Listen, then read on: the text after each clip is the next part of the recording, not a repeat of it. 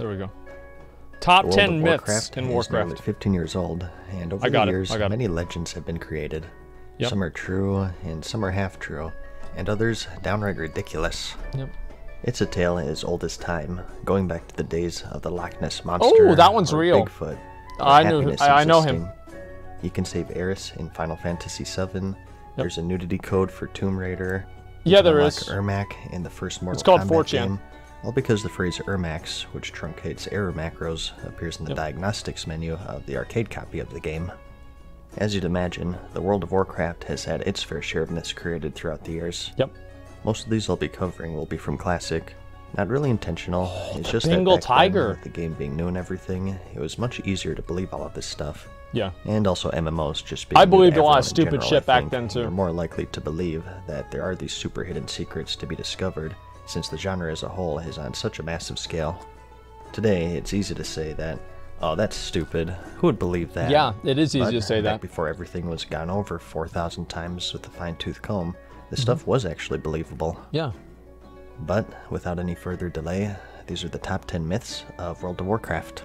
I used to swim out. Starting small and working our way up, Um, number 10 on our list is that the Molten Core was made in one week. Wait, I actually thought that was true. Well, this is partly true.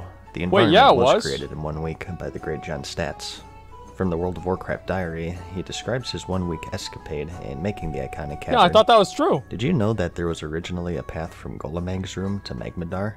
It was only taken out after Jeff Kaplan deemed that it would make the raid too circular, preferring instead a more linear layout. Wow. So the environment was created in one week. That could have been the little tunnel there. Into the raid. Holy shit, I didn't know that. Something I'm guilty of spreading myself. So this Jeff made the raid take longer. In the Okay. following weeks, Jeff Kaplan did all of the spawning and creature placement. Wait Scott a Mercer second. That means that every single fucking time that I have to deal with those respawning lava elementals and the fucking flame walkers every week, that's because of Jeff. Every week, Jeff fucks me in the ass.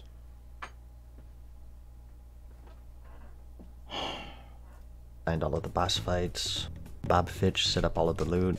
And Pat Nagle and Alex Afrasiabi handled the quests and attunement to the raid. Wow. All this doesn't make it any less impressive, though, and the raid as a whole deserves a spot in the Hall of Fame, taking into account the new ground that it broke, in spite of the tight window It's a good in time. which it was created. For number 9, we have Glaive weapon types pre-Legion. As you know, ever since the Legion expansion and the release of the Demon Hunter class, the Glaive type weapon is now obtainable in-game. And before that, in the Burning Crusade, we had the War Yeah, Glaives the of War Glaive. That was it, though. But even prior to that, Well, there was an artifact weapon in the game. for these fabled glaive weapons. Yeah. Why? It just wasn't Well, just wasn't at it. usable by players. That's some ninja stuff right there. It just doesn't that's get all. any cooler than that. I'm gonna name my character some variation of Legolas or Sasuke and dual wield these puppies. Like I said, it started Yep. all the way back in the release of the game. Yep.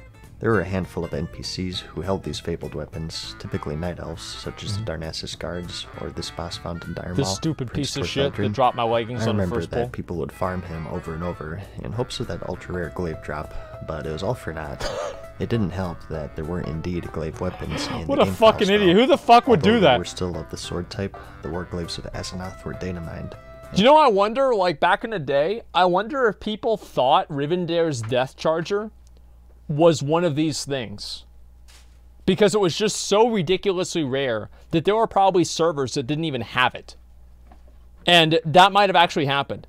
Like, yeah, they, they didn't even. Yeah, what are the stats? Yeah, those are really, really good stats, especially for uh, vanilla WoW. You know, and yeah, people might have actually thought and thought and is thought in a word?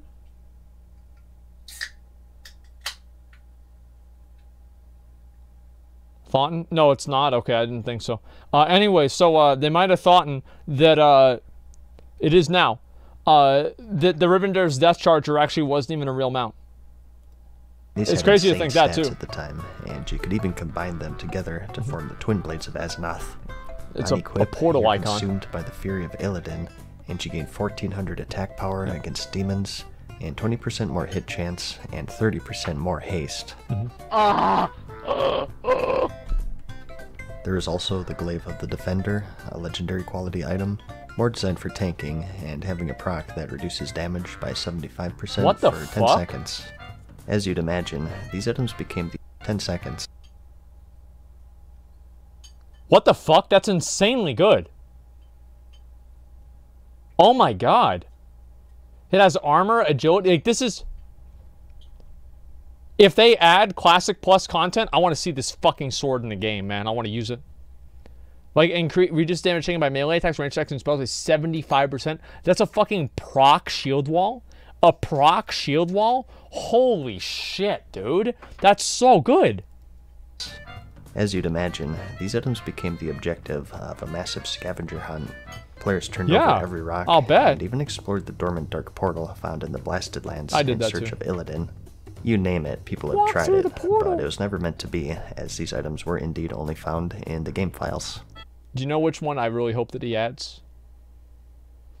Oh, if you uh if you go through uh if you go stand in the thing right behind Golemagg, you can see Ragnaros. You just have to go right up in there and look right in the cracks and you can see Ragnaros. And then, you know, you'd have people run up there and it takes like 3,000 damage every quarter second. So it just immediately fucking deletes you.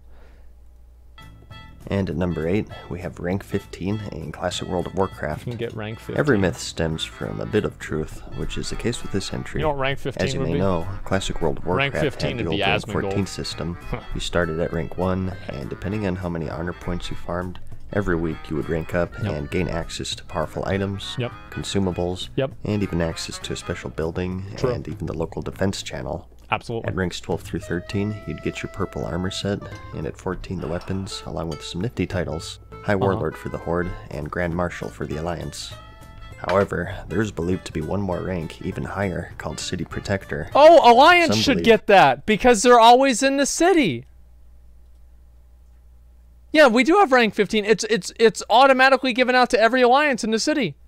Go over to Ironforge. You see city protectors everywhere. Yeah, what do you mean, Matt? Season that's not a myth. Just log on and find out. Then, if you grinded enough at rank 14, you'd eventually reach this, which ended up being false. Yeah. But like I said, most myths have a bit of truth to them. This rank was indeed planned to be in the game, and was even briefly in Blizzard's PvP guide on the official website. To obtain this, you'd have to be the number one player in Honor farmed for the previous week, and of course maintain that for as long as you wanted to keep the rank. Wow. If you were successful, you would earn the prestigious titles listed here, and would even gain the ability to teleport to your race's major city. So Darnassus for Night Elf players, Undercity for Undead. That's fucking and so on. amazing. I guess that Wait, wait, I want to look at the titles again. Protector of Stormwind, Overlord of Orgrimmar, Thane of Ironforge, High Sentinel of Darnassus, Deathlord of the Undercity, Chieftain of Thunderbluff, Avenger of Gnomeregan. That sounds stupid, Avenger of Gnomeregan. Who the fuck would want that? A Voodoo Boss of Sen'jin. A Voodoo Boss. Imagine if the Voodoo Boss was like a like a warrior or something. I don't know. That'd be that'd be a little bit a little bit disappointing. Dead and so on.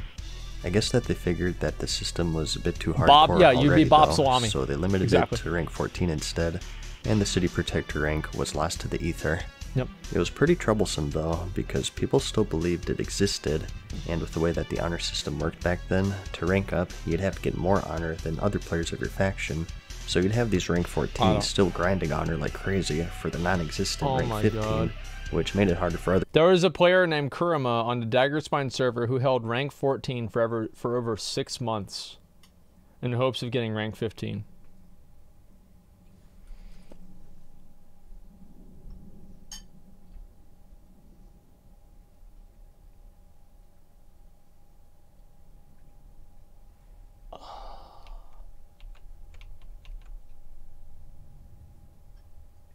Yeah, he's not alive anymore. It's not that he died, he just became one with the game. He he he, he didn't he didn't die, he just deceived he, he received and elevated himself to a higher level of consciousness. I really hope they give that guy an NPC. Yeah, he became the game. He is the game. Rank 14. Imagine after six months. Imagine like the fourth Like the the tenth week of that. Like th- three months in. And every Tuesday you wake up and you're like, Am I still GM? Yeah, I am. And then you check to see if you're fucking if you're city defender and you're not. Like imagine like I want to I wonder what the last week was like for him. I, I would love to interview this person. This is fucking hilarious. He still plays. I found his armory. Wait, what?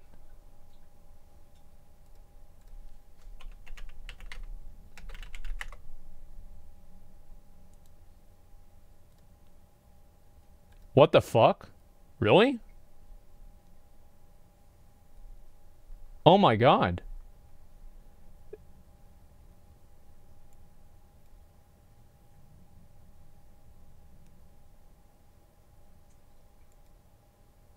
Holy shit. 536,000 kills? Do you know what the funny thing about that is? He probably got all those in vanilla. he probably got all those in fucking vanilla, man. And he's actually still playing the game. Dude, I, I need to ask this guy what his slash plate is. Man, I bet he's going to make me look like a fucking noob. That That is insane. Yeah, he's alive. It has honorable kills leaderboard. Yeah, it's insane, dude. Power K, well, I had 1 million. Yeah, I don't know about that, dude. Players to rank up, and there's a lot of drama going around because it was such a hardcore grind, Yeah. requiring players to play around the clock pretty much. It was quite common to Mm-hmm. account share even, but that's getting off topic. So rank No, 15 it's not. at number 8. At number 7, we have artifact items in vanilla. Similar to the glaive section, these finally saw Yep. a release in Legion, but until then, there were hints of these items in the game. Yep. In their original items That was like the page on their official website, it was listed with the other tiers of loot, and that's poor, common, uncommon, rare, epic, legendary, and artifact. As you can see, the color was undecided, and then later changed to red, and eventually this peach color. And with all of the data mined items, just like those glaives, people would I've seen a search lot of these. These are pretty fucking for cool. clues on how to obtain them. It didn't matter that in July of 2005, Blizzard updated their page to say they're not yet implemented. That didn't stop players from scouring every corner of the world, even in ghost form. Yeah, I've done this same stupid shit, dude. I think that I mean, like, what would it be like if they added like a new? I, I wish they added a new level of difficulty for uh, pieces of like gear, and they make the gear like the the the armor or like the weapon or whatever. They make it red, and the quest line would make the scepter of the shifting sands look like a joke. Like it would take like literally two hours, or sorry, not two hours, two years to even get through the quest line. Yeah, primal ancient, basically. Yeah, it would be fucking ridiculous. Oh, I've seen some people with a lot of HKs. I, have I've seen that. Uh, Nixie, I know exactly who that guy is. Retail's up. Okay. Other artifact quality items would be Alex's Ring of Audacity, which increases your defense by a thousand, and you can consider yourself born again hardcore. Probably a reference to Alex Afrasiabi, who was a quest designer for the game back then. Yep. You also had Martin Thunder, which was a one handed mace with some resistances, and an on use effect that kills all enemies within 30 yards of you. I need that and for also its cousin, Martin Fury, which miraculously did manage to find its way into a player's yeah, it was the old war thing. I've told this story before, so Yeah. I won't be super detailed here, but to sum it up, on accident, a GM sent this to a player named Karate Chop on the Vek'nilash server, who then used it to clear through all of the Wrath of the Lich King raids during the Ulduar tier. Yep. He was quickly caught, the item was removed, and he was immediately That banned bitch got from the banned! game. As for the rest of his the guild, even those not in the raid, those who were online were suspended temporarily in a frantic effort of damage control. Yep. Yeah, screw that dude questing in Elwynn. Damn cheater. So Fuck maybe him, not dude. technically a myth, since it was obtained Banned for through an mistake. extraordinary series of events. I would have banned a guy but using still, it too. a pretty big myth in the game overall. And at number 6, we have Karazhan is enterable. This is a pretty big claim, but the myth itself never got too much Well, it is. The so crypts are enterable, right? Too high on the list. But okay. Of course, this would be another vanilla myth, as Karazhan was released in the Burning Crusade expansion, Yeah. but it was believed by many to be enterable, or at least interacted with in some way.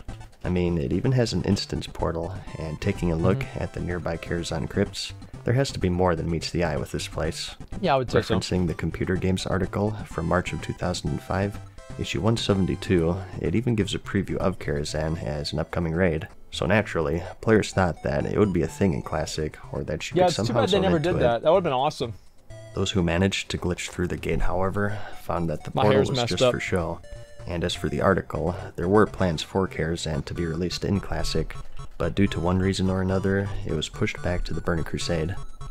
And coming in at number Mm-hmm. 5, we have an oldie but a goodie. Back then, there were many theories on how loot drops were determined in the game. I Why used to think this- drop this loot.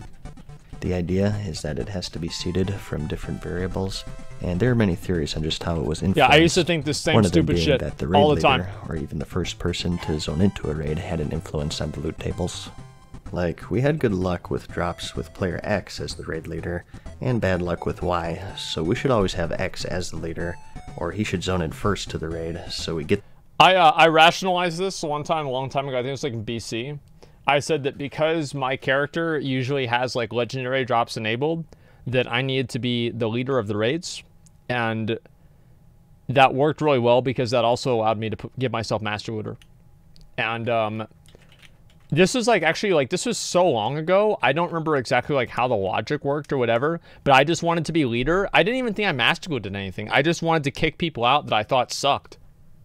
Like that's really what it was. I don't even think I master looted or ninja or anything. I just like I wanted to kick people out who I thought were bad at the game. the good drops, and guilds were quite strict with it. My guild in particular would remake the entire raid if someone was foolish enough to zone in before the designated person, which was a pain since the raids were 40 man, and you had to have everyone zone out, hope That's that so no one was fucking AFK, stupid, dude. and manually re-invite the right people again, and then rebuff. Yeah. It took forever, but I guess it was something that they felt strongly enough to waste 20 minutes of valuable raiding time. Yeah, that's about right. It was, of course, never revealed just what influences the loot in the game and what doesn't, and it's something that's died ever since the advent Titan of personal Forge. thankfully. Wow. And next, we have the Bengal Tiger. Up until the Cataclysm expansion, Yep. there was rumored to be a hidden tiger mount in the game. It exists in the game Yep. files, and hey, look, there are even screenshots of it this time. Players once pretty more badass. scoured the earth in search of this mount, this time focusing their efforts in the Stranglethorn Vale Zone. It's right there on a the selection corner. of Bengal tigers. The cave is there, but that's supposed it. connection. Eventually, through some tricky out-of-bounds jumping, a lone cave was found in these mountains. This was so was never designed for players to be able to reach. Yeah, there it but is. There's quite a lot of detail put into it. You have this nicely That's the lit Bengal path Tiger with a bunch vendor. of torches and crates scattered about, Yep. and this cave which holds these tarps. So they actually did give this the Bengal tiger to somebody. Uh, there is a, a genuine Bengal tiger in the game. So uh, there was a girl uh, that apparently got it from the Make a Wish Foundation, and uh, they gave her the Bengal tiger. So there you go, guys. Uh, if you want the tiger, you know, there you go. That that's how it's done. Uh, he's gonna get to do that. Yeah, exactly. Why, these tarps must be made of Bengal tiger hide, players said, and thus the Oh Bengal tiger God, cave was born.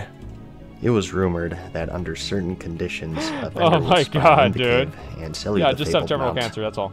It only spawns at certain times, maybe once a year. Oh, maybe you need to have this cape equipped to see the NPC. Ooh, Tiger Or maybe you Strike. need That's to be smart. A hunter and have a tiger tamed as a pet. Yep. Hmm. Maybe, just maybe, it was a mount that was planned, but was just eventually scrapped, and the screenshots going around were from the beta of the game and never made it to release. That must have been it. I mean, like there could have been like a private server or something like that. And no matter what players did, the Bengal Tiger Cave yielded no Bengal Tiger.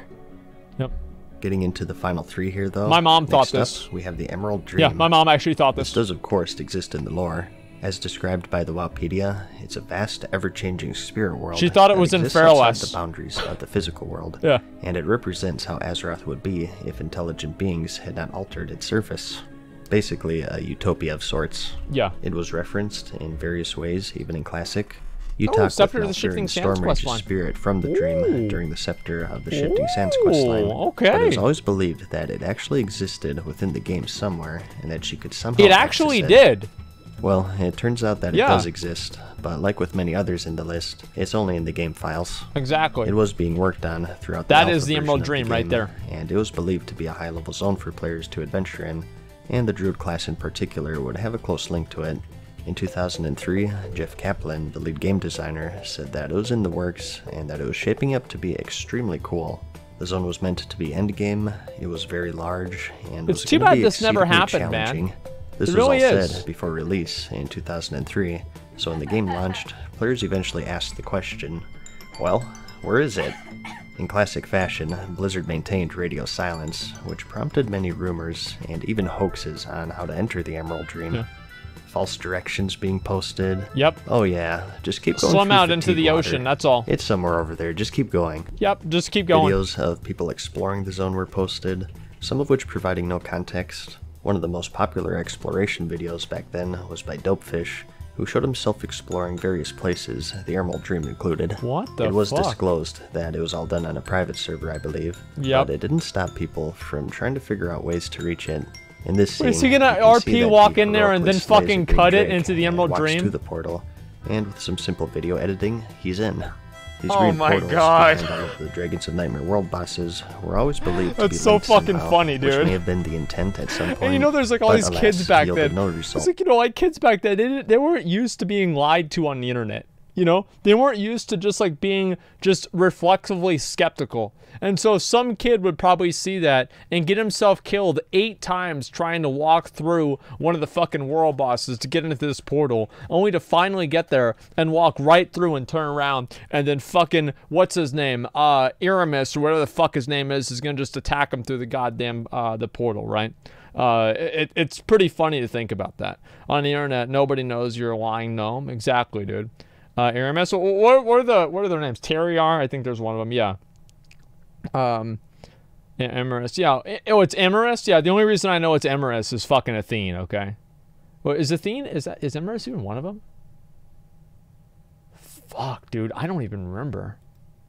on the real servers. Yeah, it's been so long. It was only on September 2006, after the announcement of the Burning Crusade expansion, Yeah. that Blizzard broke their silence on the matter and confirmed that it's not in the game, and also that Yep. there are no plans for it as of yet. Between then and now, players have flirted with the We Emerald do have the Dream Emerald Dream now. various quests, and even visiting the corrupted Emerald Nightmare raid in the Legion expansion. Yep. But to this day, we've yet to see a full representation of the Fabled Zone. And in similar fashion, another one from Classic here is that you could enter the Outland. the funny thing about these is this is the Orc homeworld of Draenor. Now, the only the, the best part about this is that the best myths are grounded in reality. And there are actually places that you can go to and see outland in vanilla wow.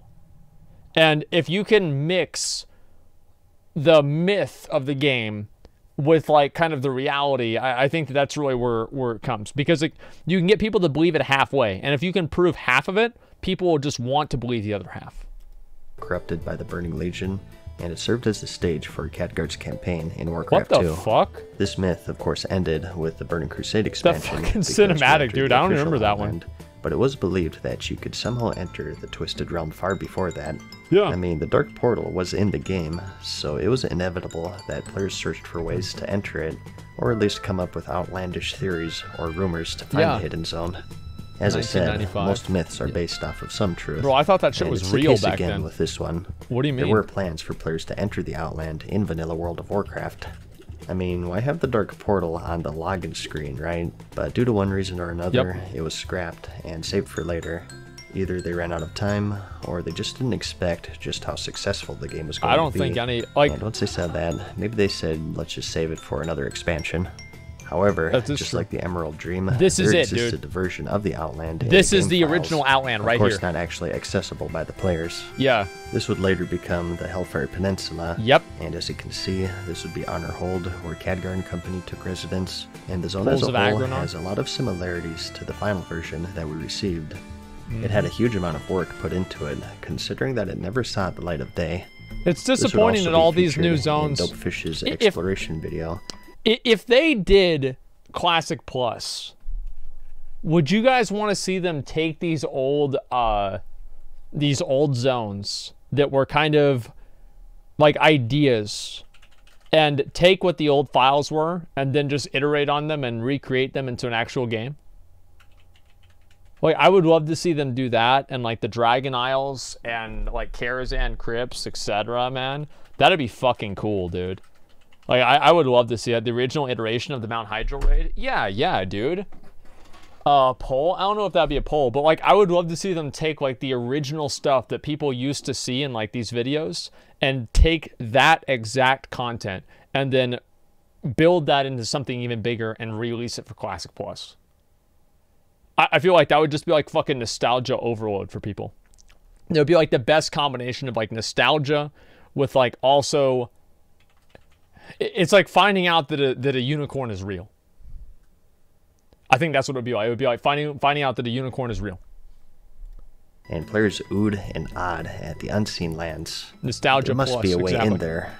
Maybe if I try to go through the portal on a level 47 naked gnome with nothing but a banana in my inventory. Hmm. Yeah, back to the drawing board. There was also another version hidden away in the Dead Mines instance. Yep, this which one still right here. exists to this day, actually. Wait, if you what? glitch through the wall with Slowfall, you can reach another work in progress of what's referred to as the Old Outland. Wait, what? And another red herring. Was can do it in the game in now? The Azshara zone. In the depths, you could find a dark portal. Wait, don't we already No have way. that in the Blasted Lands? Well, how do you explain this screenshot then? What you're looking at is an Yeah. underwater dark portal found in the waters. Do it? You guys want me to do it? It was removed in the alpha version of World of Warcraft. I'll do it if you want. That didn't stop players from exploring the waters and searching for some remnants of the portal. Okay. The answer was simple though. Back in the alpha of the game, every instance had the dark portal as a placeholder for the entrance. and at some point, it seems like there were some plans for an underwater I'll do it dungeon after of this. sorts located in the zone. But for some reason, probably time, Yeah, I'll do it after ended this. up being scrapped. The screenshot remained though, and the zone would become one of many focal points of players' search of the Outland. Well, they, they just basically reused the asset of the dark portal somewhere else, and they decided not to do that to make the dark portal more unique. It's not really th- that amazing.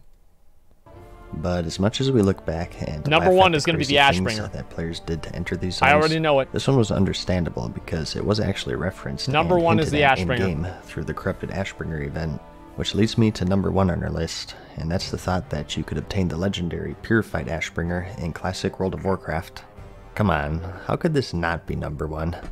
Yep. The Ashbringer was I the knew it. weapon of the former High Lord of the Silver Hand, I knew. Alexandros Mograine. Yep. And when he fell at the hands of his son, he, along with his weapon, became corrupted and were made to serve Kel'Thuzad in death.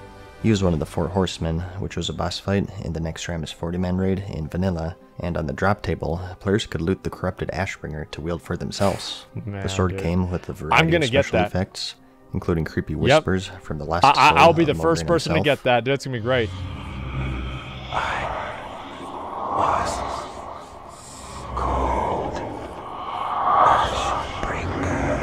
Yeah, it has like whispers and all kinds of other crazy shit. If you shit, had it dude. equipped, the Argent Dawn faction would become hostile to you, so Yep. you had to put it away whenever you entered their hub.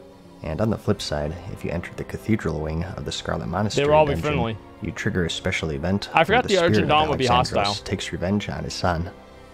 Going into a hidden chamber on the side and talking to the undead Inquisitor Fairbanks, Yep. he provides some information on the cursed sword, and he ultimately tells players to find his other son, a more devout and pious man you may never meet. It is rumored that he is able to build the Ashbringer anew without requiring the old I tainted fucking- blade, and that he I fucking thought it was gonna happen in BC, dude. I remember trying to think, man, I've got to get the fucking Ashbringer in vanilla so I can get the actual Ashbringer in B- in BC, but it never happened. resides in the Outland. This set off the biggest scavenger hunt in the game's history. Yep. Like I said, players tried every way possible to zone through the dormant portal Iron in Peel the said you need Blasted Lands, corrupt the Ashbringer. Yep. location of the removed portal in Azshara. There is a joke book that dropped from the Alterac Valley battleground called Nat Pagel's And that's Guide how to to get, Extreme the Angling, legendary sword with all but Ashbringer, the right? last page missing. It reads, and so Yep. that's where you'll find the legendary sword of the Scarlet High Lord, Ashbringer.